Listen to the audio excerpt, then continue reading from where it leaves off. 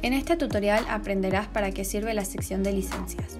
En ella verás el progreso de la licencia que adquiriste.